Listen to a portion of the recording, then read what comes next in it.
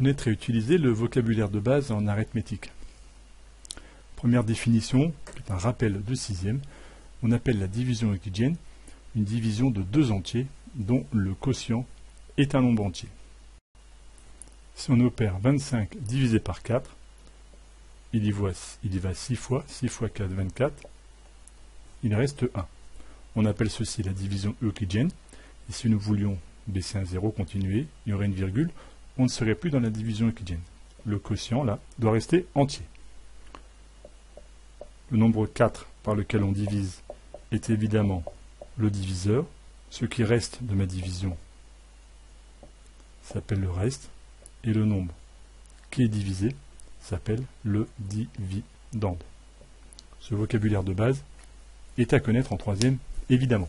On peut résumer comme ça en disant que le reste, ici donc 1, doit toujours être inférieur au diviseur. Cette division euclidienne pourrait être écrite aussi. 25 est égal à 4 fois 6 plus le reste 1, qui est une autre façon d'écrire ma division euclidienne, mais en ligne, plutôt que de l'écrire de façon posée. Et donc, la division euclidienne, d'une façon générale, s'écrira le dividende égale le diviseur fois le quotient plus le reste. Cette stratégie-là nous sera utile en troisième dans des calculs d'algorithmes.